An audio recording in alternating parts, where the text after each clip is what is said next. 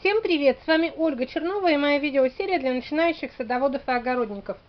Сегодня 23 февраля, ой, сентября, и я хочу показать вам, как выглядит моя томатная теплица сегодня, в конце сентября.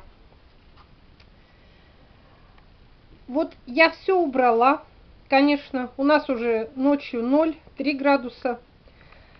И на этом месте, где у меня росли томаты, посеяла горчицу. Вот эта часть, там, где у меня были ранние, для получения раннего урожая, я убрала их чуть-чуть, дней на 10 раньше, и горчица выросла уже вот такая, видите, масса зеленая, очень сочная, пышная. Это будет как дополнительное органическое удобрение. А где росли индетерминанты, там убрала попозже, горчичка вот такая, вот в таком виде, она небольшая ну, взошла вся очень-очень дружно. Вон, видите, там малюсенькие посевы, это все горчица. Сидираты помогают нам в том случае, когда мы вынуждены на одном и том же месте садить несколько лет одну и ту же культуру. Вот куда я дену томаты из этой теплицы? Мне их деть некуда, поэтому я сажу несколько лет здесь и стараюсь землю как-то немного освежить. Вот когда вырастет вот такая вот зеленая масса вся, густая во всей теплице, попрошу мужа, и мы перекопаем. Мы прям вобьем эту зеленую массу в землю, вскопаем вместе с этой зеленью и сверху рассыплю перегной. Все.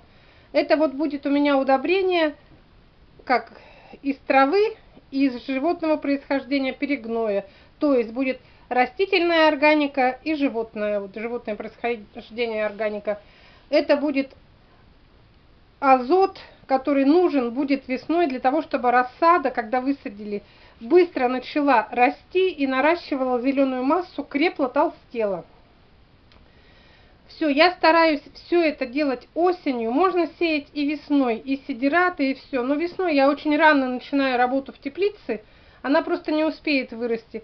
А осенью сейчас как раз вот эти две недели хватает для того, чтобы она выросла вот такая густая вот. Что еще в теплице я делаю? Можно осенью уже ее протравить и обеззаразить. Я вот говорила весной, как медным купоросом и стенки опрыскиваем, и землю поливаем, и от вредителей препаратами тоже обрабатываем. Но я осенью это не делаю, я делаю это весной, непосредственно перед высадкой. Все, вот сейчас у меня теплица, можно сказать, что готова к зиме.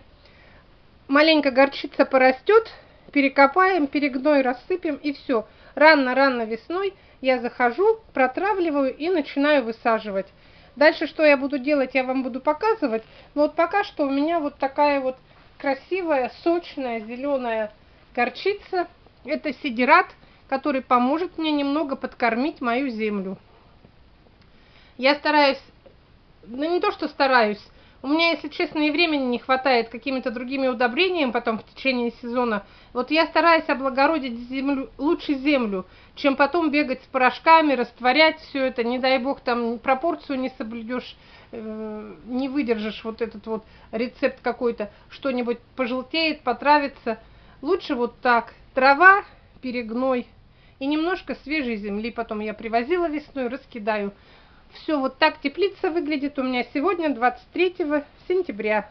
До свидания.